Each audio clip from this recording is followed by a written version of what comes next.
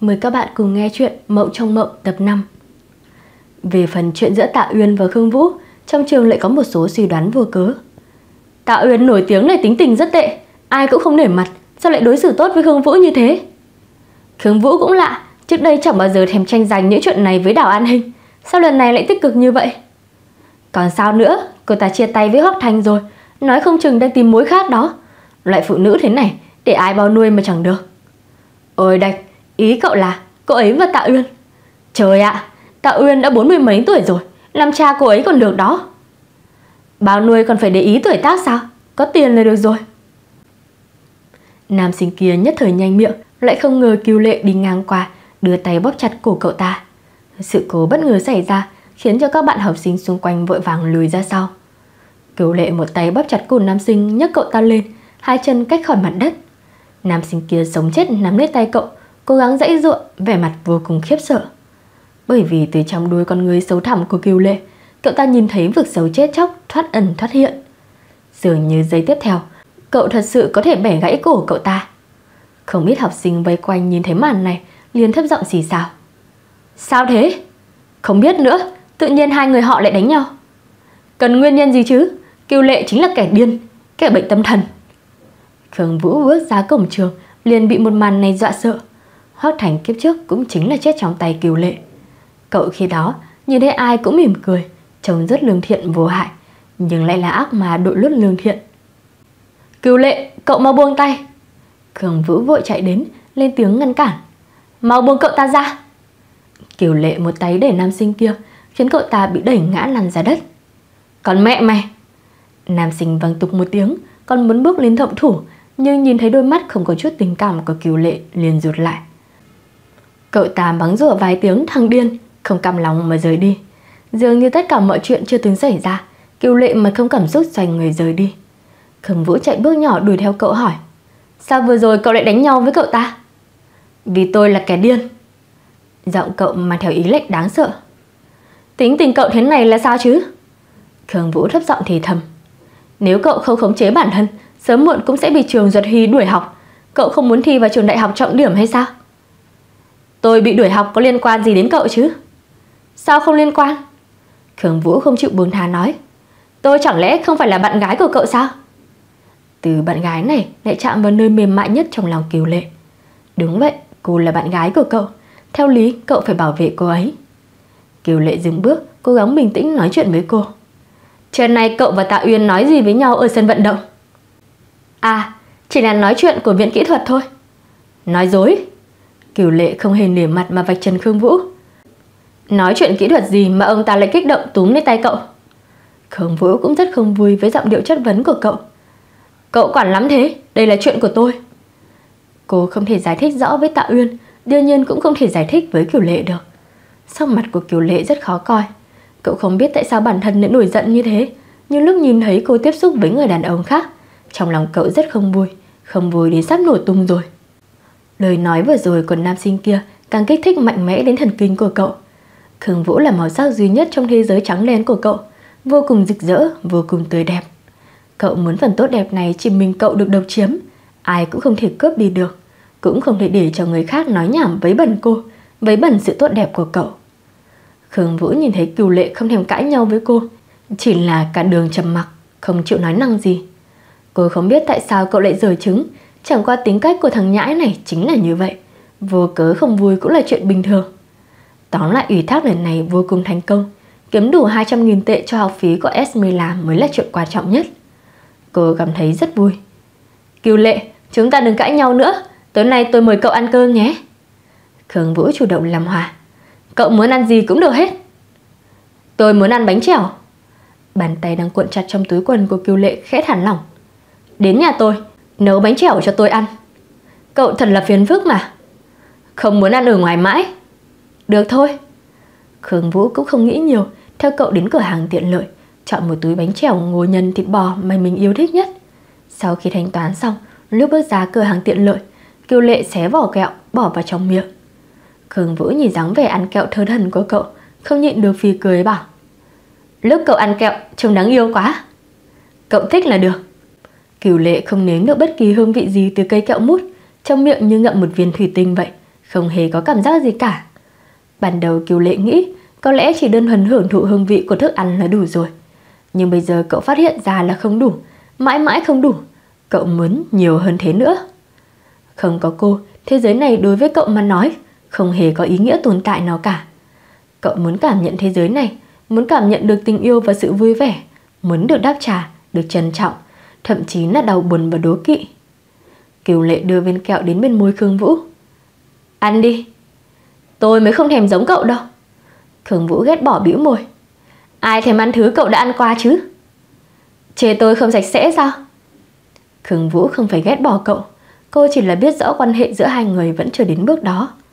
Cô đã đang giúp cậu, cứu cậu, đương nhiên cũng là đang cứu chính mình. Nếu như chỉ là quan hệ hợp tác, cô cần ăn cây kẹo mút mà khách hàng ăn qua sao? Đương nhiên không cần rồi. Kiều lệ thấy cô rõ ràng không đồng ý, cũng không miễn cưỡng cô. Cậu ngậm lấy cây kẹo không mùi không vị kia, lặng lẽ rời đi. Cô vốn không thích cậu, từ lúc bắt đầu đã không thích cậu. Điểm này Kiều Lệ nhìn thấy rất rõ ràng. Kiều Lệ ban đầu cũng không hề để tâm, nhưng dần dà cậu phát hiện bản thân bắt đầu có dục vọng, bắt đầu khó ngủ, bắt đầu muốn được nhiều hơn.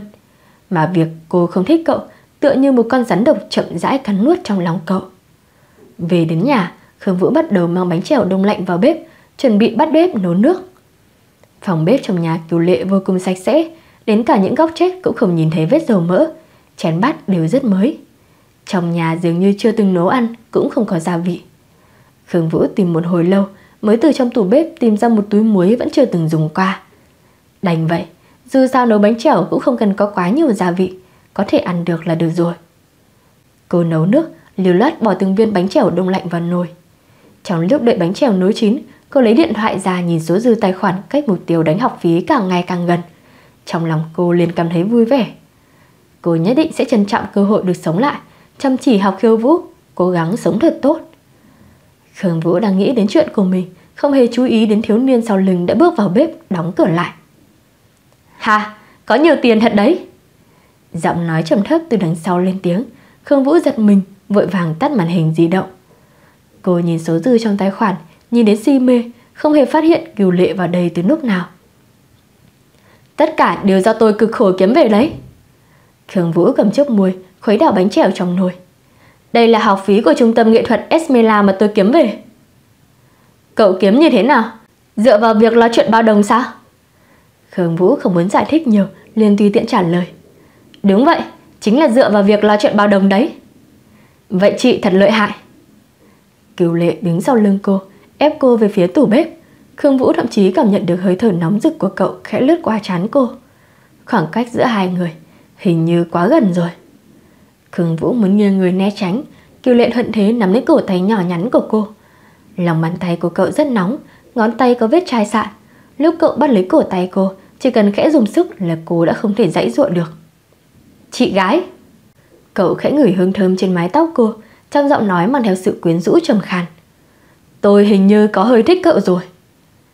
Khương Vũ sửng sốt nhìn cậu, cậu lại hỏi. Cậu có thể thích tôi không? Giọng Khương Vũ khẽ run. Tôi thích cậu mà. Nói dối. Tay còn lại của Kiều Lệ nắm lấy cằm cô, ép cô nhìn mình. Cậu tiếp cận tôi, có mục đích khác phải không? Kiều Lệ, cậu đừng như thế mà. Tôi có hơi sợ đấy. Khương Vũ nhìn vào đôi mắt đen nhánh sâu không thấy đáy của cậu. Cô thật sự sợ rồi. Giọng cô run rẩy. Cậu muốn làm gì? Kiều Lệ cũng không biết. Cậu chỉ điên cuồng muốn cảm nhận được gì đó. Giữ chặt một chút gì đó. Trước đây cậu dùng cách tự hành hạ mình để cảm nhận thế giới này. Cậu không ngừng gây hấn để bị người ta đánh cho như tử. Tuy rằng không cảm thấy đau, nhưng máu tươi đỏ thắm chảy xuống nhắc nhở rằng cậu vẫn còn sống. Khương Vũ là người duy nhất có thể cho cậu cảm giác chân thật. Cậu không thể mất đi cô được. Kiều nệ nắm lấy cầm của thiếu nữ, vô cùng tuyệt vọng hỏi cô. Có thể thích tôi được không? Cho đến lúc này, Khương Vũ mới dần phát hiện, thật ra cô đang nghịch với lửa.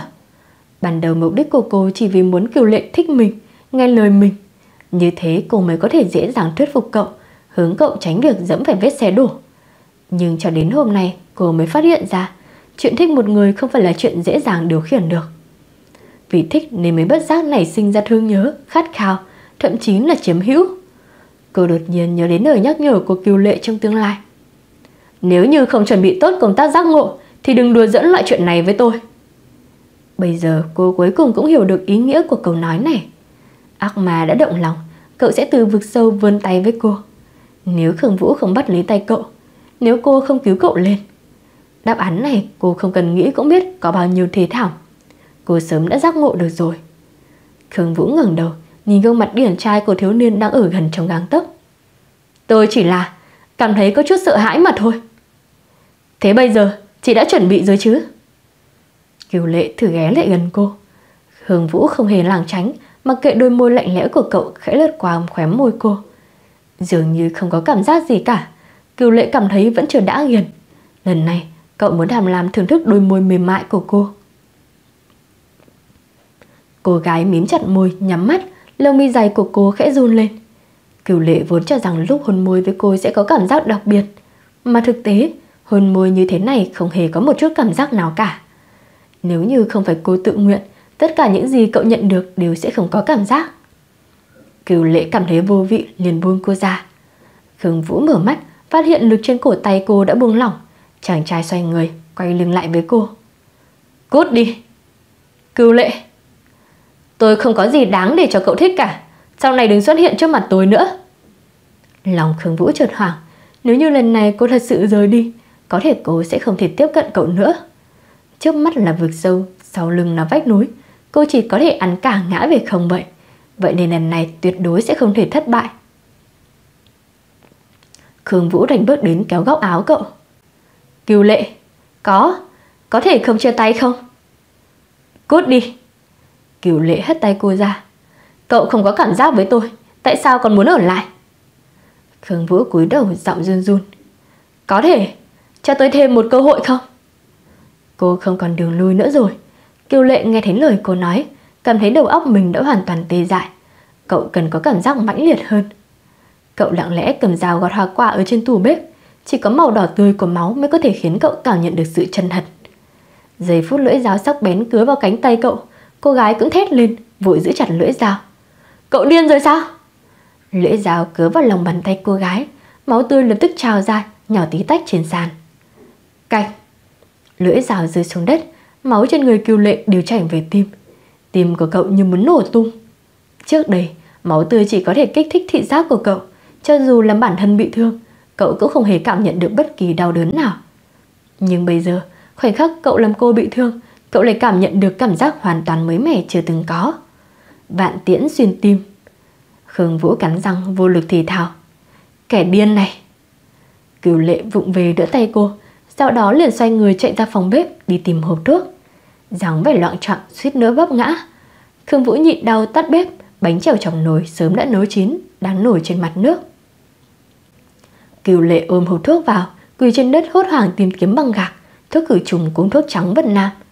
Sau khi tìm được, cậu kéo cô ngồi xuống, run rẩy nắm lấy tay cô, dùng bông giòn bôi chút nước khử trùng, lau lên miệng vết thương của cô. May mà miệng vết thương không sâu, chỉ là rách chút da mà thôi. Sau khi bôi thuốc Vân Nam quấn bằng gạc liền không có vấn đề gì. Tuy Khương Vũ cảm thấy đau nhưng điều đả kích lớn nhất tâm hồn cô chính là chàng trai đang quỳ trên đất này. Sự nguy hiểm cùng âm trầm dường như đã tan thành mây khói. Lần đầu tiên cô nhìn thấy sự thương xót cùng quan tâm tha thiết trên mặt cậu. Cô không nhịn được, thử an ủi một câu. Không đau chút nào cả. Không ai hỏi cậu có đau không? Sau mặt thiếu niên lại trở nên lạnh lẽo, giọng nói khàn khàn trách cứ. Đã bảo cậu cút đi rồi. Tôi không muốn đi. Khương Vũ thấy cậu cuối cùng bình tĩnh lại, liền thở phào một hơi, cười khổ nói. Còn chưa ăn bánh chèo nữa.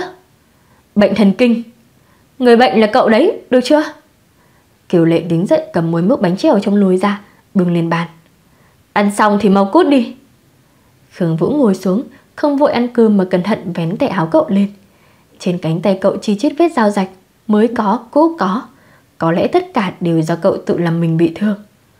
Rốt cuộc cậu bị sao vậy hả? Cô buồn thìa, nhìn những vết thương này, đầu mày của cô khẽ nhíu. Không thể yên ổn làm người sao? Ông đây không làm người được. Kiều lệ cụp mắt chán nản nói ra câu này. Chỉ có bọn trẻ trâu mới tự làm ra chuyện tự sát ngu ngốc ấu trĩ như thế. Khương Vũ mắng cậu. Rạch nhiều nhát như vậy, không đau sao? Nhìn thấy vết thương mới cũ chi chít, cô cảm thấy đau thay cậu. Kiều lệ dùng đũa khuấy khuấy bánh trèo trong bát, Mặt không cảm xúc nói Cậu từng nhìn thấy xác chết có cảm giác chưa? Lời này của cậu rất xử nhi đó Tùy cậu Kẻ không có cảm xúc buồn vui của con người, Cô mãi mãi không hiểu được cảm nhận như thế của cậu, Giống như bị giam cầm vậy. Khương Vũ nhìn thấy không thể khuyên cậu được, Nên cũng không thèm nói nữa. Cô cúi đầu ăn bánh trèo. Bánh trèo nhân ngô là loại mà cô thích ăn nhất. Ngon không?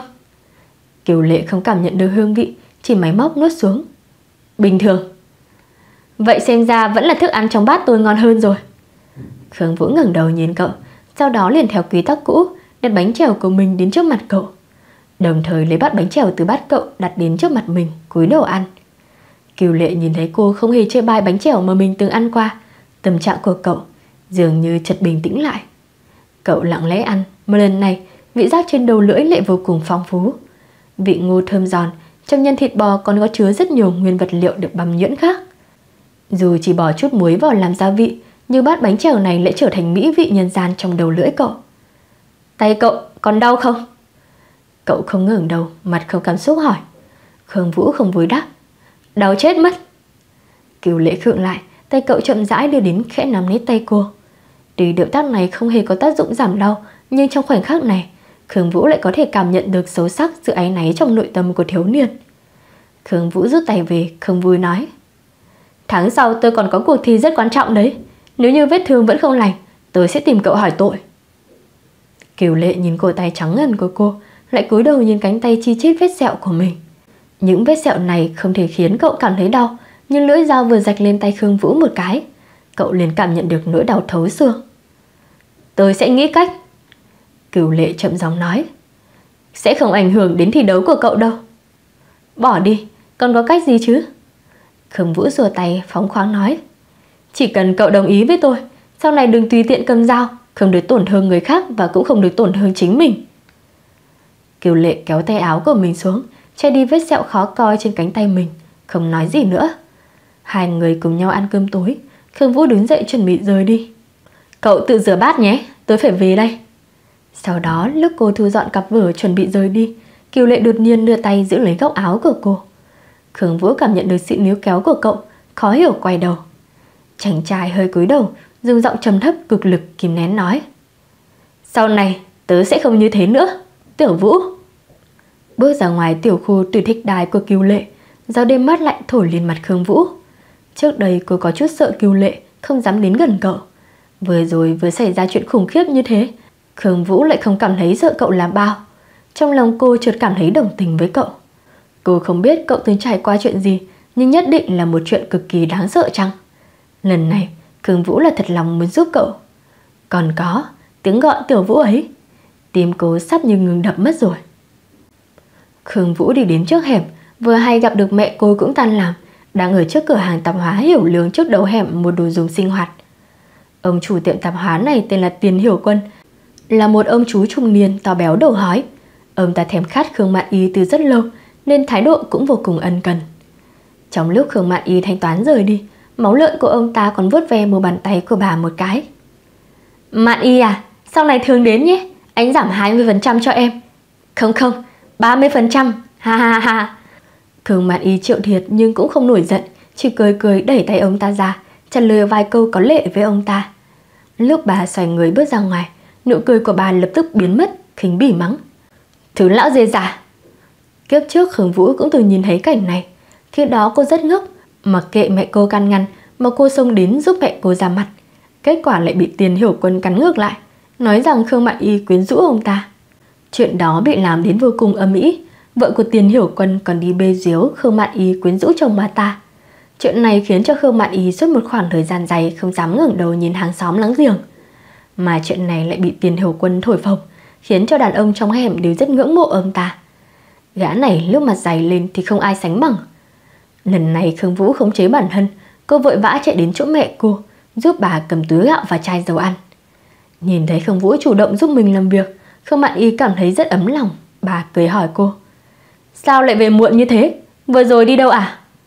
Con đi hẹn hò Khương Vũ không hề giấu giếm Con quen bạn trai mới rồi Khương Mạn Y cũng rất thoáng Bà không hề ngăn cản Khương Vũ yêu được Chỉ là bạn trai giống như Hoắc Thành Thì bà lại không đồng ý Bạn trai mới à Bà cầm chìa khóa mở cửa hóng hớt.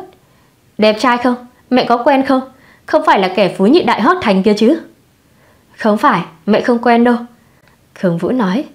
Bạn trai mới này điều kiện giống như nhà mình vậy. Không có tiền nhưng rất đẹp trai. So với hót Thành còn đẹp hơn gấp trăm nghìn lần. Dù sao đi nữa mẹ hy vọng mỗi mối tình của con đều xuất phát từ nội tâm. Chân thành yêu đương với họ, chứ không phải vì lợi ích hoặc thể diện mà yêu đương. Không mạn ý vẹo mũi cô bảo. Tiền thì sẽ có thôi, nhưng thật lòng thì sẽ không dễ có. Khương Vũ im lặng, sau đó dùng sức gật đầu. Vâng ạ, con sẽ không ngốc nghếch nữa đâu. Kiếp trước mẹ cô cũng từng nói với cô những lời này, nhưng lúc ấy cô không hề nghe lọt tai. Còn nữa, tuyệt đối không được ảnh hưởng thành tích. khương mạn ý đặt lương thực bỏ vào trong tủ bếp, cười uy nghiêm nói. Nếu ảnh hưởng đến kỳ thi đại học, mẹ sẽ gậy đánh Nguyên đường. Con biết rồi. Khương Vũ nhìn theo bóng lưng bận rộn của bà dặn dò. Mẹ ơi, sau này mẹ đừng đến tiệm tạp hóa hiểu quân mua đồ nữa, nhà họ bán đồ giả. Sao con biết?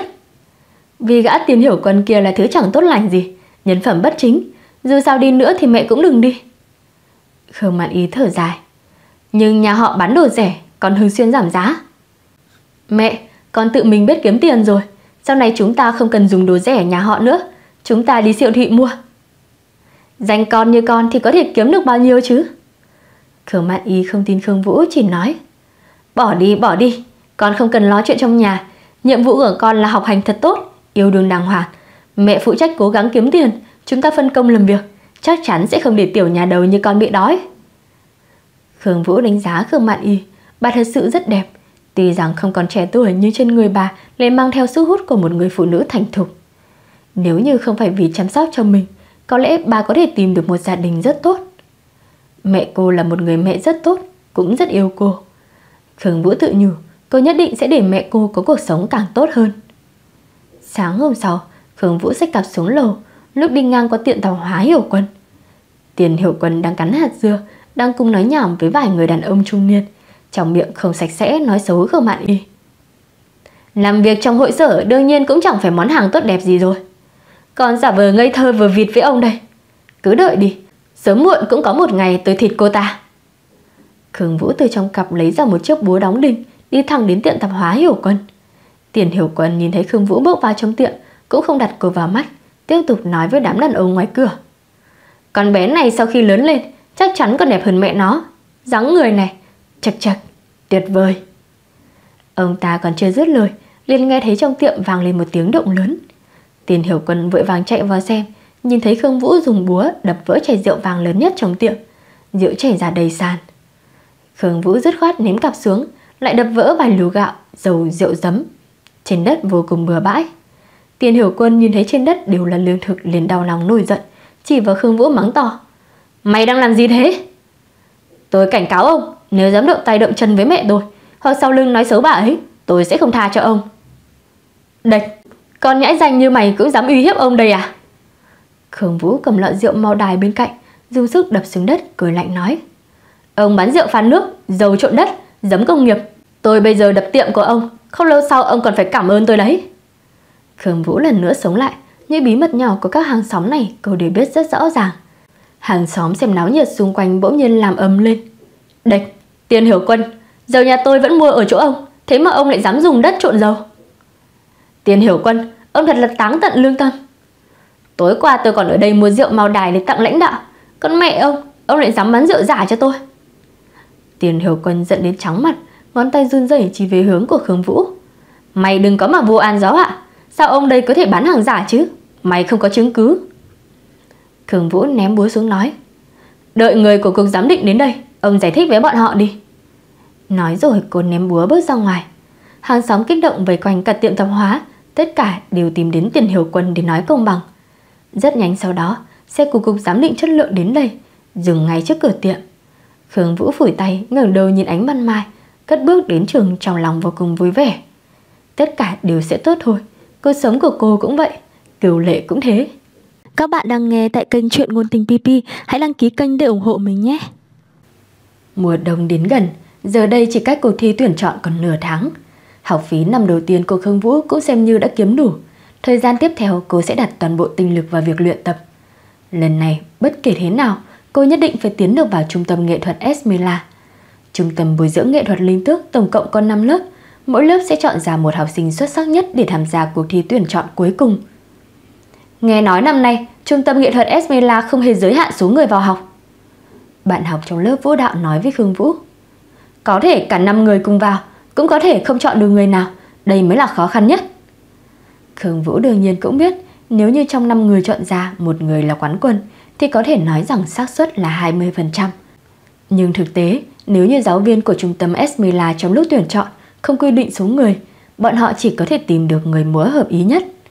Hơn nữa, cô còn nghe nói, trung tâm múa lê lớn nhỏ trong Bắc Thành khoảng gần trăm chỗ. Sau khi các giáo viên trong Esmila chọn lọc, chỉ chọn ra học sinh có tiềm năng nhất trong ba trường. Trong số trăm nghìn học sinh chỉ chọn ra ba người, có thể thấy rằng cuộc cạnh tranh này khốc liệt bao nhiêu. Lớp bồi dưỡng của chúng ta rất có khả năng không chọn được người nào cả. Bên cạnh có một cô gái buộc tóc đuôi ngựa đang ép chân bảo. Giáo viên của Esmela có ánh mắt rất cao. Trình độ mà họ cần có thể bằng trình độ lấy được quán quân của cuộc thi toàn quốc, mà trong trung tâm của chúng ta lại không có nhân tài như thế. Một cô gái tóc ngắn lại nói. Những người khác đa phần tham gia làm nền, nhưng Phạm đan Khê chắc chắn có thể vào được. Phạm Đàn Khê chính là học sinh ưu tú nhất của lính tước, cũng là cô gái có thiên phú nhất. Cô ta từ 7 tuổi liền bắt đầu học múa ballet, lấy được rất nhiều giải thưởng trong các cuộc thi thành phố và toàn quốc. Đồng thời, cô ta cũng là nữ sinh có gia thế tốt nhất trong lớp lính tước. Trước đây Khương Vũ từng nghe Trần Vi nói, đôi giày múa ballet Elita của bộ đàn yên đáng giá nghìn vàng, cũng là do nhà họ Phạm Bắc Thành mua lại. Khương Vũ sẽ không để ý đến những việc người khác có thể vào được hay không. Cô chỉ để ý đến bản thân mình, phải ở trong cuộc thi tuyển chọn phát huy năng lực cực hạn của mình để lọt vào mắt xanh của giáo viên trung tâm nghệ thuật Esmela. Trong lớp huấn luyện, trung tâm đã cho các giáo viên dạy múa chuyên nghiệp nhất đến dạy cho các học sinh ưu tú được chọn luyện tập động tác và tư thế. Đương nhiên là các giáo viên rất có trọng Phạm Đan Khê nên cẩn thận hướng dẫn động tác cho cô ta. Dường như họ đặt toàn bộ hy vọng lên người cô ta. Đối với các bạn học khác cũng không quá chú ý. Thật ra đây cũng là chuyện rất đỗi bình thường. Nhà họ Phạm là thế gia có tiếng trong Bắc Thành, vậy nên Phạm Đan Khê cũng là học sinh được các giáo viên trong lớp bồi dưỡng linh tước xem trọng nhất. Lần này nếu như lớp bồi dưỡng linh tước có thể đào tạo được một học sinh tiến vào Esmila, thì người đó chắc chắn là Phạm Đan Khê. Trình độ của Phạm Đan Khê thật sự rất cao. Một đoạn Grand City xinh đẹp trên không trung liền nhận được sự vỗ tay nhiệt liệt của tất cả các thầy cô và bạn học. Phạm Đan Khê mỉm cười khiên tốn, nhận lấy khăn lông mà Ngô Tư Lâm đưa đến. Cảm ơn cậu, Tư Lâm. Ngô Tư Lâm cố ý cao giọng khen ngợi cô ta. Đan Khê, cậu thật sự quá lợi hại rồi. Chỉ có trình độ của cậu mới có thể vào được trung tâm nghệ thuật Esmela mà thôi. Phạm Đan Khê lau mồ hôi trên trán khó hiểu hỏi. Tại sao cậu lại không được chọn? Nhắc đến chuyện này, Ngô Tư Lâm liền hận đến nghiến răng nghiến lợi, không cam lòng nhìn về hướng Khương Vũ đang đứng trong góc. Là do Khương Vũ ăn may, giành hết vinh quang của cô ta, hại cô ta giờ đây chỉ có thể đứng bên cạnh quan sát. Phạm Đàn Khê cũng theo ánh mắt của Ngô Tu Lâm nhìn sang. Cô ta nhìn thấy Khương Vũ đang đứng luyện tập dáng đứng thế hạc. Ngũ quan của cô rất xinh đẹp, mắt phượng hẹp dài rất đặc biệt, làn da trắng gần như ngọc ngưng chi. dáng người cũng rất đẹp, bất kể là vai lưng hay là bắp đùi đều vô cùng cân xứng thon nhỏ. dáng người như thế, dường như không hề tin ra nửa điểm tì vết nào. Cô là người khép kín, không hề lộ mặt, thậm chí Phạm Đan Khê cũng không để ý đến trong lớp đào tạo linh tước lại có một cô gái có nhan sắc và vóc dáng tuyệt vời như thế này. Cuối cùng bạn học về quanh Phạm Đan Khê học động tác của cô ta, nhờ cô ta hướng dẫn. Chỉ có cô gái tên Khương Vũ kia một mình đứng trong góc, tự mình tập luyện. Vẻ mặt nghiêm túc của cô khiến cho trong lòng Phạm Đan Khê có chút linh cảm chẳng lành. Chẳng lẽ nhà đầu này còn cho rằng bản thân có cơ hội tranh giành với cô ta ư? Buồn cười. Trong lòng Phạm Đan Khê không hề để ý đến, lần nữa thể hiện bản lĩnh của mình, nhảy một đoạn kiễng chân xoay tròn cực nhanh, khiến cho các bạn học và giáo viên liên tục vỗ tay khen ngợi. Đan Khê, cậu thật sự quá lợi hại rồi. Mình dám cá, giáo viên Esmela vừa nhìn thấy cậu, lập tức bị cậu thuyết phục. Cậu được sinh ra để múa ba lê, nữ vương ba lê tương lai, nhất định là cậu. Đương nhiên rồi, Đan Khê vì lần tập luyện này mà tuyệt thực hai ngày. Động lực như thế, ai làm được thì làm, dù sao tớ cũng không làm được. Phạm Đàn Khê đắc ý nhìn về hướng Khương Vũ, Cô đương nhiên cũng bị Phạm Đàn Khê thu hút. Cô dừng động tác, dùng khăn lông lau mặt, quan sát tư thế khiêu vũ của Phạm Đàn Khê. Thế là Phạm Đàn Khê tự tin nói Bạn học Khương Vũ, cậu có thể bình luận về động tác của tôi không? Theo câu hỏi của cô ta, ánh mắt mọi người đều tập trung về phía Khương Vũ đang đứng trong góc. Khương Vũ ngày thường trong lớp bồi dưỡng dường như không hề có cảm giác tồn tại. Đương nhiên không thể so sánh với bạn học ngôi sao như Phạm Đan Khê. Nào ngờ hôm nay Phạm Đan Khê lại chủ động kêu cô. Khương Vũ lịch sự trả lời. Cậu múa rất đẹp. Ngô Tư Lâm khoanh tay mỉa mai. Còn cần cậu nói sao? Ai mà chẳng nhìn ra. Đan Khê nhảy đẹp hơn ai kia không biết bao nhiêu lần nữa. Phạm Đan Khê đưa mắt nhìn Ngô Tư Lâm nói. Tớ biết, động tác của tớ còn cách với động tác hoàn mỹ một khỏi nhất định.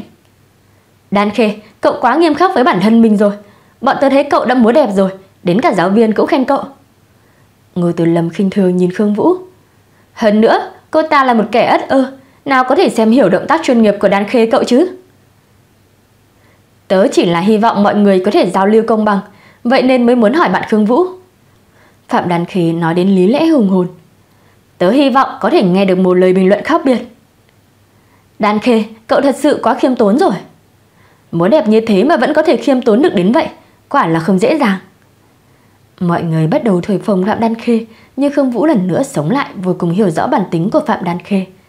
Cô ta từ bé sống trong sự cưng chiều của bố mẹ và sự khen thưởng của thầy cô, đã sớm quen với việc tự cho mình là trung tâm, vậy nên vô cùng kiêu ngạo và có tự tôn rất cao, không dễ gì để cho người bên cạnh vượt mặt. Vậy nên Phạm Đan Khê hỏi Khương Vũ câu hỏi này không phải là muốn bình đẳng giao lưu, mà cô ta vốn dĩ muốn cô bẽ mặt. Kẻ mới học múa chẳng bao lâu, có thể nói được gì hay ho chứ. Chỉ đáng tiếc là cô ta tìm nhầm người rồi. Khương Vũ nhếch môi nói, nếu đã là như thế, vậy thì tôi cũng xin trình bày cách nghĩ của mình. Mọi người đều mong chờ nhìn cô, muốn xem cô có thể trình bày như thế nào.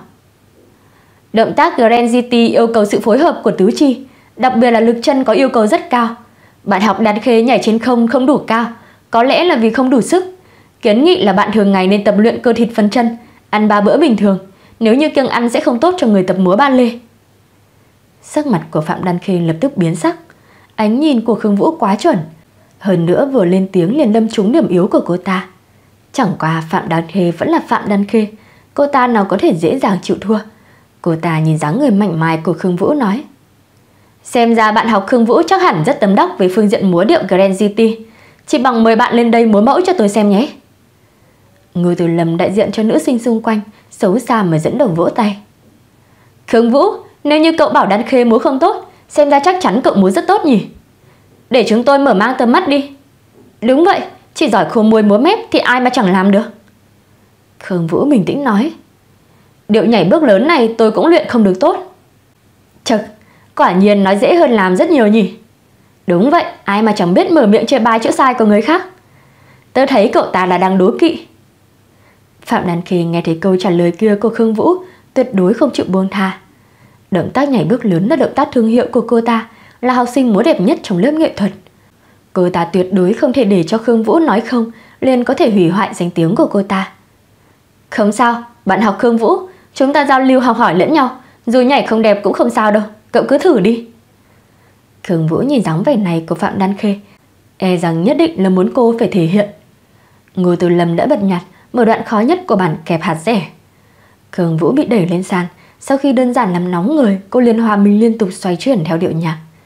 Hòa theo cao chiều của âm nhạc, cô tựa như một chú yến nhỏ bay trên không trung, chân sau thẳng tắp nhảy lên, kéo theo cả cơ thể lướt đi chỉ thông qua một cú tung người. Sau đó cô nhẹ nhàng tiếp đất. Các nữ sinh xung quanh đều sững sờ há hốc, khó tin nhìn Khương Vũ. Động tác này rất khó, chỉ cần từng học qua ballet đều biết. Động tác khó nhất chính là sau khi liên tục xoay chuyển vẫn có thể duy trì đầu óc không bị choáng mà thong thả tung người. Khương Vũ không chỉ làm được động tác này mà cô còn thực hiện một cách tuyệt đẹp, dường như không nhìn ra bất kỳ sai lầm cùng tí vết. Sau khi có động tác nhảy bước lớn của cô, lại nhìn động tác vừa rồi của Phạm Đan Khê, thật sự là lực đạo của cô ta rõ ràng không đủ. Cao thấp thấy rõ. Phạm Đan Khê nghiến chặt răng, lúc nhìn Khương Vũ, trong mắt cô ta chứa đầy sự không cầm lòng cùng đố kỵ. Mà trong lúc này, bên ngoài lại truyền đến tiếng vỗ tay. Các bạn học đều quay đầu nhìn, nhìn thấy là cô Lâm Khúc Văn, giáo viên hướng dẫn đứng đầu trong lớp nghệ thuật. Bà vừa vỗ tay vừa bước vào khen. Một đoạn múa vô cùng xuất sắc, có thể đạt được đến trình độ diễn xuất chuyên nghiệp rồi. Trong trung tâm múa ba lê linh tước, tất cả mọi người đều biết giáo viên hướng dẫn đứng đầu trung tâm, cô giáo Lâm Khúc Văn, Trước giờ bà sẽ không dễ dàng khen ngợi bất kỳ ai. Yêu cầu của bà rất cao, đến cả Phạm Đan Khê cũng chưa từng được bà khen ngợi. Thế mà bà lại khen Khương Vũ, hơn nữa còn là lời đánh giá rất cao như thế. Bạn học đều quay đầu nhìn Khương Vũ với con mắt khác. Lâm Khúc Văn đi đến trước mặt Khương Vũ, đầu tiên nắn lấy cơ thịt trên cánh tay cô, sau đó đánh giá sau lưng, hài lòng mà gật đầu. Trông thì gầy nhưng lại có sức khỏe không tệ. Chỉ là nếu như em muốn bước vào trung tâm nghệ thuật Esmela, với thời gian nửa tháng, mỗi ngày em đều phải luyện tập với cường độ cao, bởi vì bọn họ yêu cầu rất cao về thể chất. Khương Vũ dùng sức gật đầu. Cảm ơn cô, em sẽ cố gắng. Phạm Đàn Khê đang được các nữ sinh vây quanh. Nghe thấy lời nói này của Lâm Khúc Văn liền vô cùng ngỡ ngàng. Trước đấy tất cả mọi người đều cho rằng nếu như trong lớp nghệ thuật linh tước có một nữ sinh có thể bước vào Esmila thì người này nhất định là Phạm Đan Khê. Nhưng Lâm Khúc Văn lại chỉ dặn dò Khương Vũ cần tăng thêm thời gian luyện tập. Chẳng lẽ trong lòng bà, Khương Vũ có cơ hội vào Esmila lớn hơn Phạm Đan Khê ư? Lớp các nữ sinh nhìn về hướng Phạm Đan Khê, ánh mắt liền có chút ý vị thâm sâu. Tay của Phạm Đan Khê siết chặt thành nắm đấm, đôi mắt đỏ bừng. Cô ta tuyệt đối không để Khương Vũ được như ý nguyện. Sau khi diễn tập xong, các nữ sinh tụm năm tụm bảy cùng nhau bước ra ngoài lớp tập múa. Khương Vũ không lập tức rời đi, bây giờ vẫn còn sớm, cô dùng thảm yoga trong lớp để tập luyện sự dẻo dai.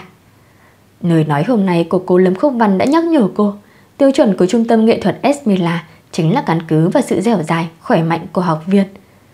Khương Vũ cẩn thận nhớ đến từng clip biểu diễn trên vũ đài Esmila, tại sao từng động tác của từng vũ công đều đạt được đến trạng thái hoàn mỹ. Đa phần đều phải phối hợp với cơ thịt trên cơ thể bọn họ. Tuy rằng chỉ còn thời gian nửa tháng, Khương Vũ vẫn quyết định phải luyện tập trọng tâm, hơn nữa cần luyện tập về mặt dẻo dai hơn. Phạm Đàn Khê và bạn bè bước ra khỏi lớp học, quay đầu nhìn cô một cái bảo Xem ra cô ta thật sự một lòng một dạ muốn được vào trung tâm nghệ thuật Esmila. Ngô Từ Lâm lạnh lùng mỉa mai. Cậu nhìn xem đôi giày ba lê của cô ta đi. Đã mang lâu như vậy rồi nhưng chưa từng thấy cô ta đổi giày. Nghèo đến như thế, cô ta có tư cách gì để vào Esmela chứ?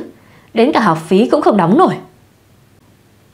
Nếu như cô ta có thể được giáo viên trường Esmela chọn thì không cần nộp học phí. Đây cũng trở thành chuyện còn con rồi. Phạm Đàn Khê siết chặt nắm tay nói.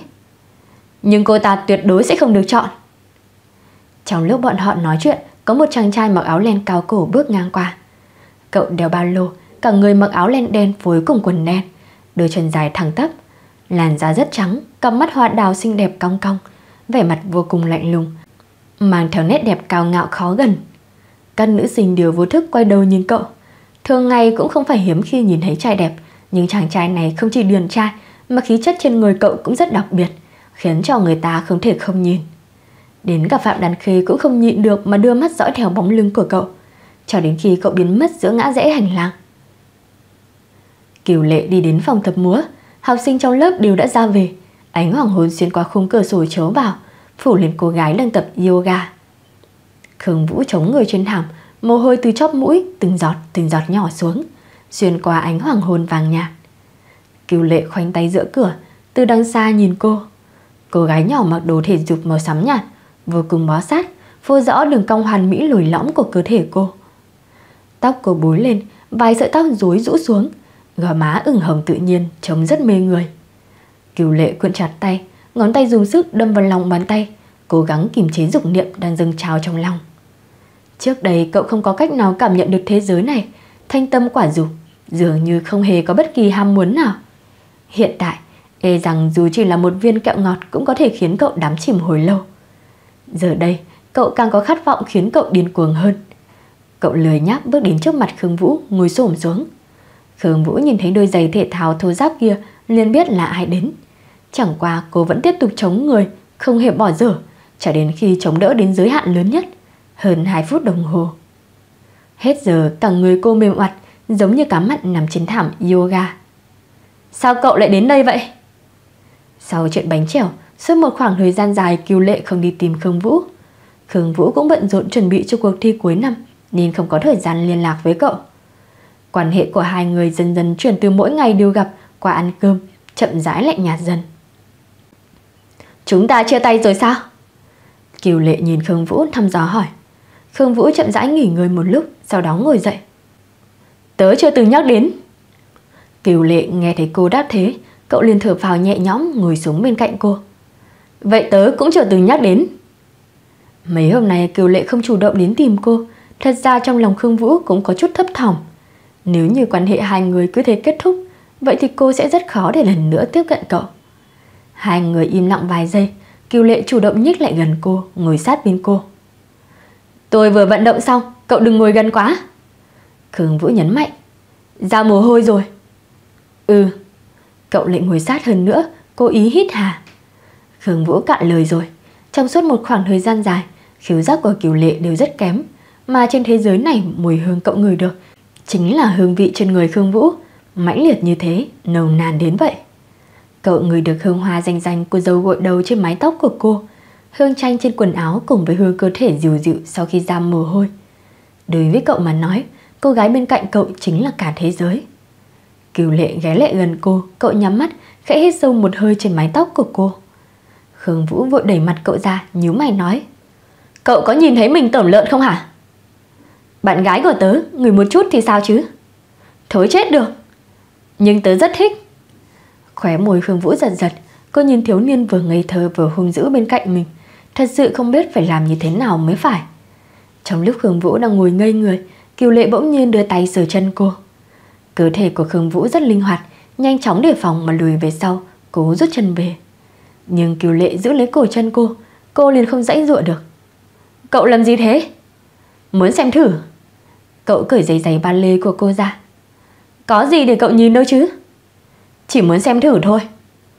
Kiều Lệ cởi chiếc giày ba lê bên chân phải của cô xuống, cầm bên tay, thích thú nghịch chơi. Mặt ngoài của đôi giày múa màu gạo bóng loáng, chẳng qua mũi giày ma sắt lâu ngày nên trở nên vô cùng cũ kỹ, thậm chí còn hơi buông chỉ. Cậu vừa nhớ đến những lời bàn tán vừa rồi của đám nữ sinh kia hỏi cô. Không phải cuối năm cậu có cuộc thi quan trọng ư? Sao lại mang đôi giày rách như thế này? Khương Vũ giật lại chiếc giày muối trong tay cậu, không vui hỏi. Nếu chơi đôi giày của tôi, vậy thì cậu mua một đôi mới cho tôi đi. Kiều Lệ xoa mũi hỏi. Không phải chỉ là một đôi giày múa thôi sao? Mũi giày chất lượng, giá giày không rẻ đâu. Khương Vũ cầm lấy đôi giày trên tay cô giới thiệu. Đôi giày này chất lượng rất tốt, là tiền tôi dành dụng ăn uống chất chiêu nửa năm, cộng với tiền lì xì và tiền ăn vặt mới mua được đấy. Thế nên cho dù đã cũ, tôi cũng sẽ không thay. Giày ba lê rẻ không phải không có, bên ngoài bán đầy, nhưng giày ba lê có chất lượng tốt hay không sẽ trực tiếp ảnh hưởng đến biểu diễn trên sàn múa. Vậy nên Khương Vũ chấp nhận bỏ tiền mua một đôi giày chất lượng tốt, dù đã mang rất lâu rồi nhưng cũng không muốn đổi một đôi giày mới rẻ tiền.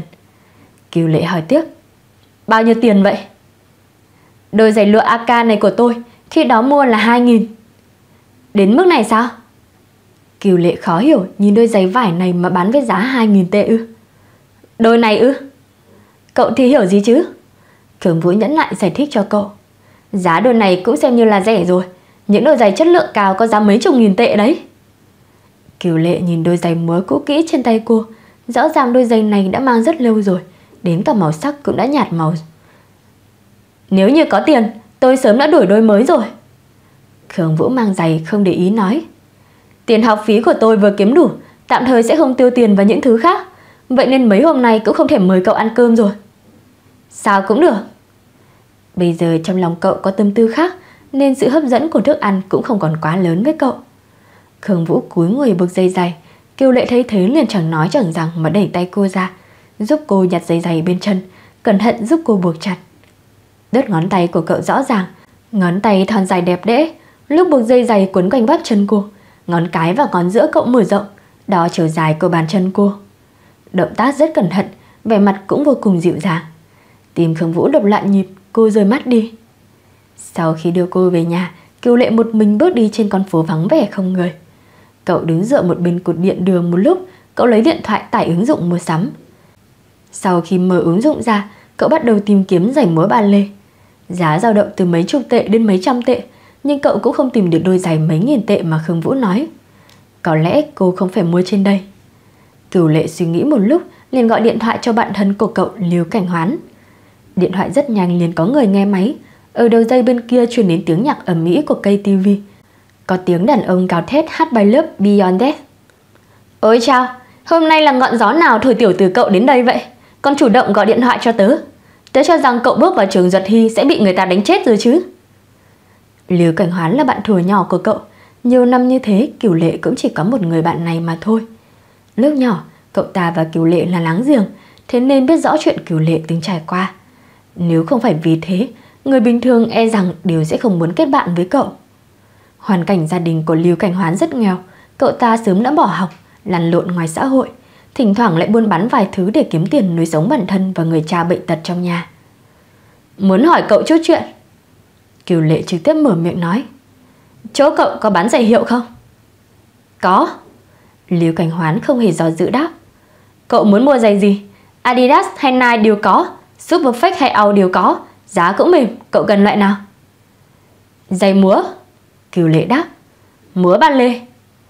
Cậu vừa dứt lời Đầu dây bên kia chợt im lặng suốt 20 giây. Liễu Cảnh Hoán bật thốt lên. Ôi đạch! Và chấm. Cậu ta dường như cho rằng mình nghe lầm Không chắc chắn hỏi. Giày, giày múa ba lê. Cho tớ hỏi thẳng Không phải là kiểu nữ chứ? Cỡ size 36 Kiểu nữ hả? Liễu Cảnh Hoán thật sự không dám tin vào tai mình. Cậu muốn mua giày cho con gái à Còn là giày múa nữa? Không, không phải là. Bạn gái tớ. Đây Liêu Cảnh Hoán hét âm lên. Cậu, cậu thật sự có bạn gái rồi hả? Cô gái kia ngại mạng mình sống lâu quá ư Sao lại dám yêu đương với gã điên như Kiều Lệ chứ? Kiều Lệ không nhẫn nại hỏi. Rốt cuộc có không? Có Chỗ tớ muốn gì có nấy Liêu Cảnh Hoán nghe ra giọng điệu không vui của cậu Nên cố gắng kiềm chế cơn sợ hãi trong lòng Cùng cậu nói chuyện làm ăn. Hàng nhập khẩu Từ mấy chục tệ đến mấy trăm tệ đều có. Cậu muốn lại nào? Lại tốt nhất. Cửu lệ không hề do dự nói. Lại đắt nhất. Vậy cậu đợi chút, Tớ hỏi bạn tớ giúp cậu. Cửu lệ gác máy, Đứng bên đường đợi khoảng 15 phút, Sau đó Lưu Cảnh Hoán lại gọi cho cậu. Hỏi được rồi, Có, Cậu chắc chắn muốn mua loại đắt nhất chứ? Ừ Bạn tớ bên này lấy hàng từ Hồng Kông về, Nếu cậu muốn lấy loại đắt nhất, Sẽ lấy cho cậu loại hàng hiệu 40.000 tệ. Nghe thấy cái giá này Kiều Lệ im lặng một lúc hỏi, Thật sự là loại tốt nhất? Dù sao bên tớ cũng sẽ bán hàng tốt nhất, Hoàn toàn khác với mấy đôi mấy chục tệ, Mấy trăm tệ trên app mua sắm. Người biết nhìn hàng đều sẽ nhìn ra, Đảm bảo bạn gái cậu sau khi mang nó sẽ không mất mặt. Với giao tình của hai chúng ta, Tớ không lấy phí trung gian, Tiệm bán bao nhiêu, Tớ báo cậu giá đó. Kiều lệ biết Lưu Cảnh Hoán sẽ không lừa cậu, Thế là liền nói, Trong vòng nửa tháng, tớ muốn nhận được hàng. Ok, Tớ giúp cậu nghĩ cách. Bên cậu có tiền đặt cọc không? Tạm thời chưa có. Kiều lệ nói, Tớ nghĩ cách đã. Trạng vạng của hai tuần sau, Khương Vũ đến tủ đựng đồ của mình, Chuẩn bị đi thay váy múa ướt đẫm mồ hôi. Trong lúc có cởi dây dây múa, Bất giác nhìn thấy dây giày bị rút chỉ. Khương Vũ vội vàng cởi dây múa, Từ trong cặp sách lấy ra kim chỉ trong chiếc túi nhỏ.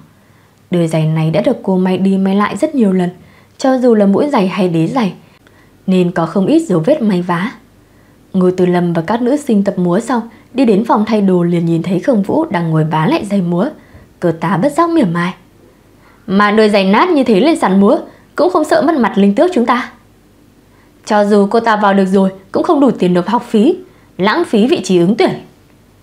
Không hiểu sao giáo viên lại chọn loại người như cô ta tham gia cuộc thi tuyển chọn. Khương Vũ quét mắt nhìn Ngô Tư Lâm một cái, Nhẹ nhàng đáp trả. Nhanh như thế đã quên rồi sao?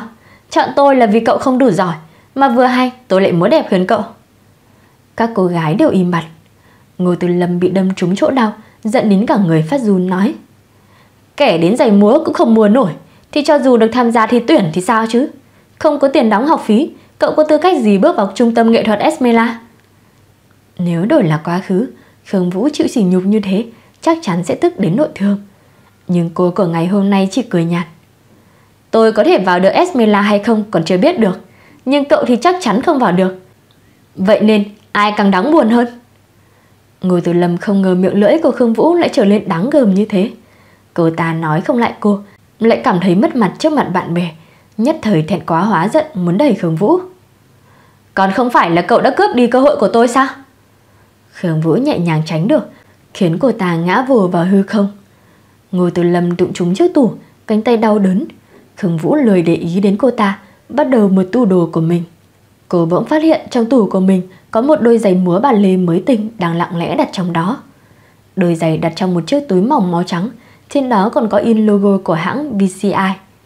Ai cũng biết giày múa VCI là nhãn hiệu cao cấp, hoàn toàn là hàng thủ công, vẫn duy trì được tinh túy thủ công trăm năm. Hàng năm số lượng sản xuất rất ít, chất lượng của đôi giày này vô cùng tuyệt vời. Trong lúc ngành công nghiệp giày múa ba lê mọc lên như nấm, sản lượng của VCI sản xuất rất ít, nhưng chất lượng thượng hạng nên nhãn hàng này được xem là nhãn hàng cao cấp, thậm chí được xem là hãng đầu ngành công nghiệp này. Khương Vũ kinh ngạc từ trong túi mỏng lấy ra đôi giày múa ấy. Đây là một đôi giày mũi nhọn, mặt vải trắng vô cùng bóng láng, từng đường kim mũi chỉ đều được may tay, nên đôi này so với các giày múa bình thường trông càng giống như một nghệ thuật hơn. Giày múa bà lê VCI chính là nhãn hiệu tốt nhất. Các cô gái tập múa đều khao khát có một đôi giày múa VCI. Chỉ tiếc là giá giày VCI rất đắt, hơn nữa múa ba lê rất dễ làm hỏng giày, mang chưa được mấy tháng lại phải thay đôi mới. Vậy nên, người có thể dùng hiệu VCI cũng không nhiều. Các nữ sinh thấy đôi giày mũi nhọn VCI liền kinh ngạc cảm thán. Trời ạ, Khương Vũ đổi thành giày VCI rồi. Đôi giày này trông có hơi giống đôi giày của Ngô Tư Lâm. Đương nhiên không giống rồi, ai biết đôi giày kia của cô ta có phải là super fake hay không? Ngô Tử Lâm nhìn đôi giày VCI trong tay Khương Vũ giống hệt đôi giày của mình. Cô ta liền lạnh mặt. Khương Vũ bỗng nhớ đến chuyện hai tuần trước, Kiều Lệ nói với cô chuyện giày múa. Lúc cậu nắm lấy bắp chân cô, hình như từng dùng ngón tay để đó kích cỡ bàn chân cô. Nhưng Khương Vũ tuyệt đối không ngờ được cậu lấy tặng cho cô một đôi giày múa bàn lì hiệu VCI. Khương Vũ biết hoàn cảnh gia đình Kiều Lệ, bố cậu vì tội ngược đãi nên ngồi tù, mẹ cậu cũng không liên lạc với cậu. Cậu vì khiếm khuyết về mặt tinh thần nên họ hàng trong nhà cũng không muốn chăm sóc cho cậu. Sau khi vào trường Duẩn Hy, Cựu Lệ hoàn toàn dựa vào thành tích học tập ưu tú để lấy học bổng mới có thể miễn cưỡng duy trì được. Sao cậu có tiền mua giày đắt như thế chứ? Khương Vũ lặng lẽ đặt đôi giày vào trong cặp, chuẩn bị đi tìm Kiều Lệ hỏi rõ. Mà lúc này Ngô Tư Lâm lại gọi cô lại bảo Khương Vũ, tuy rằng cậu nghèo đến độ không muốn nổi giày, cũng không cần phải mua hàng fake chứ. Đúng vậy, mua giày nhái là phạm pháp đấy. Khương Vũ nghe thấy bọn họ nói đây là giày fake lại thở phào nhẹ nhõm, không để ý nói. Giày fake thì sao chứ, ăn hết của nhà cậu sao? Nói rồi cô liền muốn rời đi, nhưng Ngô Tư Lâm nào có dễ dàng buôn tha cho cô. Cô ta chặn cô lại nói. Nếu cậu mang đôi giày này trước mặt các giáo viên Esmila, thật sự là quá mất mặt rồi. Đúng vậy. Cô gái bên cạnh nhìn lúc Khương Vũ không để ý, liền giật lấy túi vải của cô, lấy đôi giày kia ra. Mỗi đôi giày VCI đều có một mã số độc nhất vô nhị, có thể lên mạng tra được. Khương Vũ, cậu không để ý chuyện bọn tôi lên mạng xuất thử chứ? Khương Vũ lạnh giọng. Tra xong thì thế nào? Tôi mang giày phách, người mất mặt là tôi, liên quan gì đến các cậu? Không thể nói như thế nhé. Lúc cậu mang giấy phách lên biểu diễn chính là làm mất mặt lớp nghệ thuật linh tước của chúng ta. Ngô Tuấn Lâm bám giết không buông. Nếu như đôi giày này là giả thì chúng tôi giúp cậu tiêu hủy nó. Các cậu dám? Ngô Từ Lâm đã từ trong cặp lấy kéo ra, cười lạnh nói. Có thể thử cắt đấy. Khương Vũ muốn bước lên giật lại đôi giày. Các cô gái kia lại vội vã giữ lấy cánh tay cô, giữ chặt cô, không để cô đến gần Ngô Tư Lâm. Khương Vũ giận dữ quát. Dù sao đi nữa nó đang nằm trên tay các cậu Sao tôi biết được mã số đó có đúng hay không Đồ nhà quê. Cô gái cầm di động quét mã số nói với Ngô Tư Lâm. Tư Lâm, Cậu cởi giày để tớ quét một cái. Hàng thật hàng nhái, Không phải vừa nhìn liền rõ hay sao? Ngô Tư Lâm không hề do dự cổ đôi giày múa VCI của mình xuống, Đưa cho cô ta. Hai đôi giày đặt bên cạnh nhau, Kiểu dáng giống hệt nhau. Sau đó các nữ sinh xung quanh bắt đầu bình luận. Rõ ràng chất lượng không giống nhau. Đôi giày này của tư Lâm trông sáng màu hơn rất nhiều. Còn không phải sao? Tiền nào của nấy? Cho dù là super fake đi nữa Thì giả cũng chẳng thể thành thật được. Nhìn xem dây giày này, Chất lượng kém hơn nhiều rồi. Khương Vũ không muốn quà mà Kiều Lệ tặng mình Bị người khác bình phẩm này nọ. Cô đưa tay muốn lấy lại đôi giày múa bàn lê. Ngô Từ Lâm nhanh tay nhẹ mắt, Giành lấy đôi giày kia. Cô ta cho rằng Khương Vũ đang trột dạ Nên liền dục. Trả thử đi, không thể vì sự ham hư vinh của cô ta mà làm mất mặt linh tước chúng ta. Nữ sinh kia cầm điện thoại nhập mã số của đôi giày lên. Tìm được rồi, đôi giày này. Cô gái cầm điện thoại, sắc mặt bỗng nhiên trầm xuống. Là hàng giả đúng không? Chắc chắn là hàng giả rồi. Nữ sinh không cầm lòng ngẩng đầu nhìn Khương Vũ một cái, nghiến răng nghiến lợi nói. Là hàng thật. Ngô tư Lâm không dám tin vào tay mình, đưa tay giành lấy di động của cô gái. Sau khi xác nhận lại, Mã số trên đó thật sự là hàng thật Cô ta không cam lòng nhìn Khương Vũ Ồ không phải đã chia tay với bạn trai có tiền của cậu rồi sao? Sao? Sao còn mặt giày bám lấy? Khương Vũ giành lại đôi giày của mình, Bỏ vào trong cặp trầm mặt xoay người rời đi. Cũng trong lúc đó, Một nữ sinh trượt nói, Sao có thể như thế? Tư Lâm, Giày của cậu sao không tra được mã số vậy? Mọi người ngẩng đầu nhìn về hướng cô gái. Chỉ thấy cô ta một tay cầm giấy muối của Ngô Tư Lâm, Tay còn lại cầm di động. Các cậu xem. Các nữ sinh khác cũng bước đến vây quanh Nhìn màn hình di động của cô ta. Thật sự không tra ra. Không phải chứ? Chẳng lẽ giày của Tư Lâm mới là super fake? Ngô Tư Lâm khó tin lấy điện thoại kết nối mạng Sau đó nhập mã giày của mình vào. Quả nhiên màn hình lạnh lùng hiển thị. Xin lỗi, mã số bạn tìm không tồn tại. Không, không thể nào. Giày của Ngô Tư Lâm là do người cậu làm kinh doanh nước ngoài từ Israel, Lần đầu tiên cô ta mang đôi giày đến lớp nghệ thuật. Còn khoe khoang được mấy tháng liền đấy. Nhưng hóa ra lại là super fake. Các nữ sinh đưa mắt nhìn nhau, Trong ánh mắt mang theo vài phần trầm trọng. Âm mỹ nửa ngày, Giày của Khương Vũ là hàng thật, Giày của Ngô Tư Lâm mới là hàng giả. Khương Vũ nhìn thấy dáng vẻ dẫn đến phát run của cô ta. Vốn dĩ không muốn ném đá xuống giếng, Nhưng cô nhớ đến hành động vừa rồi của cô ta. Thật sự là vô cùng quá đáng. Không phải nói là mua bán hàng nhái là phạm pháp sao? Khương Vũ cầm cây kéo trên bàn, Ném đến trước mặt Ngô Tư Lâm. Cắt nó đi. Ngô Tư Lâm cắn môi đến tái nhợt, Không cam lòng nhìn nữ sinh xung quanh. Các nữ sinh đương nhiên cũng là dáng vẻ ăn dưa xem kịch hay, Chờ đợi hành động tiếp theo của cô ta. Sắc mặt của Ngô Tư Lâm rất tệ Lừa giận công tâm. Cô ta cầm lấy đôi giày múa super fake Được cô ta khoe khoang suốt mấy tháng này, Bực bội cắt thành vài rách.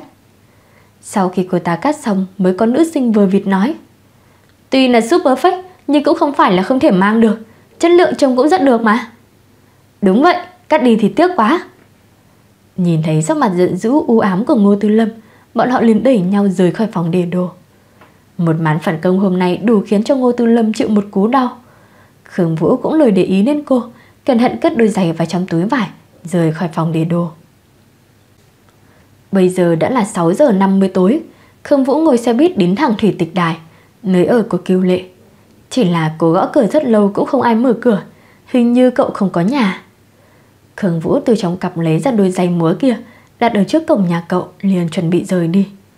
Chẳng qua cô đi được vài bước Quay đầu nhìn đôi giày múa đang lẳng lặng nằm bên cửa Lại cảm thấy không ổn lắm Tuy rằng không nên tùy tiện nhận lấy món quà quý trọng như thế Nhưng cô cũng cần phải nói rõ trước mặt cậu mới phải Cứ thấy lặng lặng trả về Hình như không hay lắm Nghĩ đến đây Khổng Vũ cầm giày múa lên, rời khỏi tòa nhà. Cô vừa bước ra ngoài tiểu khu, liền nhìn thấy chàng trai mặc áo len cổ cao màu đen, Đang chậm rãi đi dưới con đường trồng cây bạch quả. Trong tay cậu cầm một chiếc túi, Trong túi đựng hộp thuốc. Kiều Lệ! Khương Vũ vội vàng vẫy tay với cậu. Nào ngờ Kiều Lệ vừa nhìn thấy Khương Vũ Nên vội vàng xoay người bỏ chạy. Khương Vũ nhìn thấy bóng dáng hốt hoảng chạy trốn của cậu, Cô ngây ra vài giây, Sau đó vội vã đuổi theo. Sao cậu lại chạy trốn chứ? Kiều Lệ chạy nhanh hơn sói, Chạy qua vài con hẻm quanh co, Cậu thở hồng hộc chạy đến một ngã tư khác. Nhìn thấy cô gái sau lưng không đuổi kịp, Cậu chống gối thở hổn hển, Nhẹ nhàng thở vào một hơi. Lúc này, một chiếc taxi dừng bên cạnh cậu. Cửa xe vừa mở ra, Khương Vũ từ trong xe bước ra, Dùng sức đóng cửa xe, Giận dữ mắng. Cậu thử chạy nữa coi. Cửu lệ ba chấm. Khương Vũ bước đến gần cậu, Nhìn thấy vết thương trên mặt cậu trên sống mũi còn dán băng cá nhân. Cô kiễng chân nắm lấy chiếc cầm đầy vết bầm của cậu, Nhìn trái nhìn phải.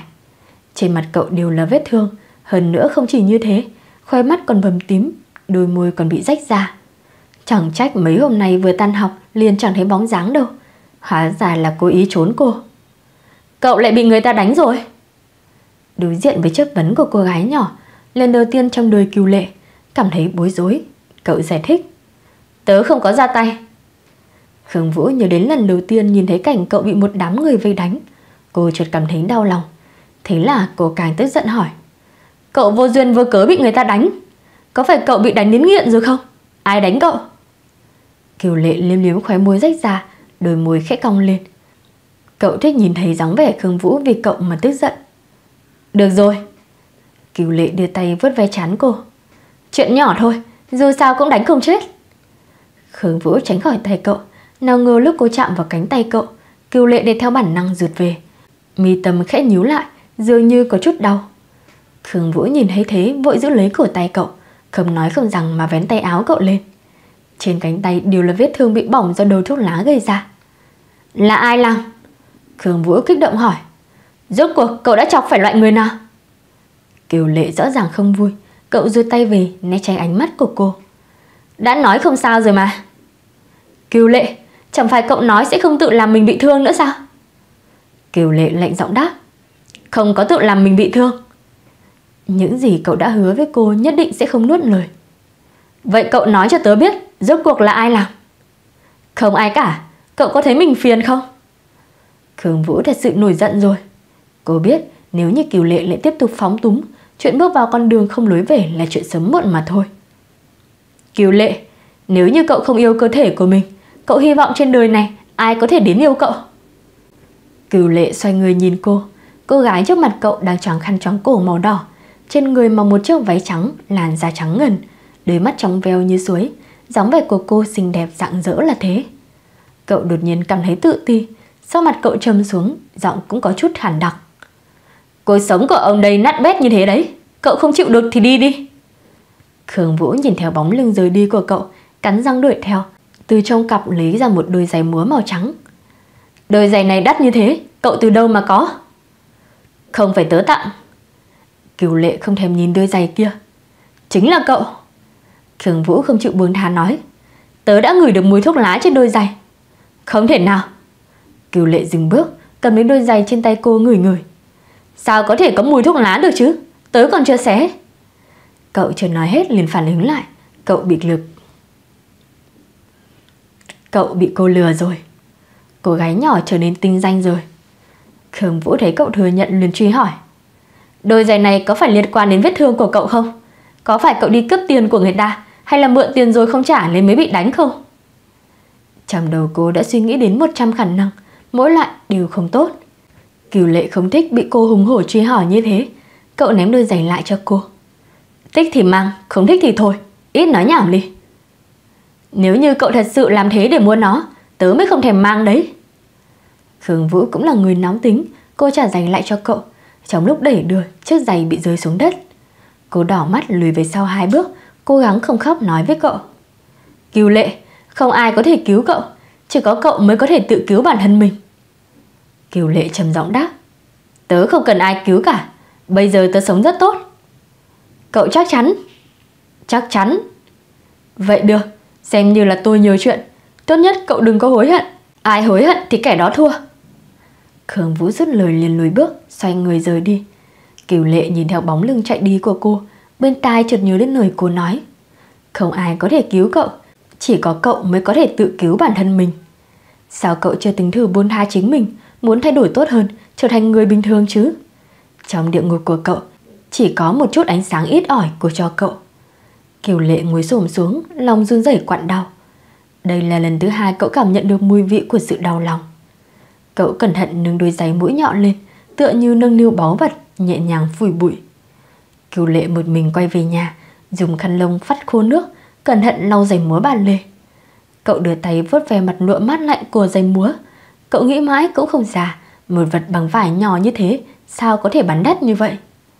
Chỉ là chắc chắn là tiền nào của nấy. Quà tặng cho Tiểu Vũ nhất định phải là thứ tốt nhất. Cửu Lệ không hề cảm thấy tiếc tiền. Cũng trong lúc đó, điện thoại trong nhà vang lên. Cửu Lệ nhận được điện thoại của ông chủ từ. Tiểu Lệ, lần sau nếu thiếu tiền thì đến tìm tôi nhé. Cậu là chiếc giò ưu tú nhất ở chỗ chúng tôi đấy. Có rất nhiều khách hàng đều muốn đặt cậu. Kiều Lệ lạnh nhạt đáp. Sau này sẽ không làm nữa đâu. Đừng cự tuyệt như thế chứ. Dù sao đi nữa chỉ cần cậu cần tiền cứ đến tìm tôi. Kiều Lệ mặt không cảm xúc gác máy. Cậu đi đến trước gương, cỡ bằng cá nhân trên sống mũi xuống, lần nữa dán một cái mới. Lúc chạm đến vết thương, cậu rõ ràng cảm nhận được đau. Khương Vũ đoán không sai, tiền cậu mua giày múa VCI thật sự liên quan đến vết thương trên mặt cậu. Thông qua bạn bè giới thiệu, cậu tìm đến ông chủ từ. Ông ta ở dưới lòng đất mở các trận đấu đánh nhau ngầm. Nhưng thực tế không phải là các trận đấu vật lộn mà là tìm người để phát tiết hành hạ. Chỉ cần đối phương cho cậu tiền, họ liền có thể tùy tiện bạo hành với tiền đề không có đe dọa về tính mạng, bao gồm đánh đấm, dùng đầu thuốc lá làm bỏng tay cậu, dùng cách này để giải tỏa áp lực cuộc sống. Kiều Lệ cho rằng mình rất phù hợp với loại công việc này vì cậu không cảm nhận được đau đớn, hơn nữa sức chịu đựng cũng rất mạnh. Nhưng cậu sai rồi. Trước đây mỗi trận đánh đập, đau đớn mà cậu cảm nhận được dường như đều rất nhỏ. Nhưng lần này, cậu thật sự chân thật cảm nhận được rồi. Từng cú đấm trên người đều đau đến tận xương tủy. Những vết bỏng trên da thịt chính là sự đau đớn khi bị thiêu đốt, khiến cả người cậu bất giác run rẩy. Đây là thế giới vô cùng chân thật, mà quá khứ cậu không ngừng tìm kiếm. Bệnh của Kiều Lệ không phải là bệnh sinh lý mà nguyên nhân là vì trong thời thơ ấu liên tục chịu đựng những tổn thương trong tâm hồn, dẫn đến chứng ngại tâm lý. Không phải cậu không cảm nhận được, mà là vì dây thần kinh tự động suy hóa lại cảm giác này. Lần này cậu cảm nhận được rồi. Sau đó Kiều Lệ lại thử những cách khác, ví dụ như dùng tăm xỉa răng đâm vào mu bàn tay, nhưng cậu lại không cảm nhận được gì.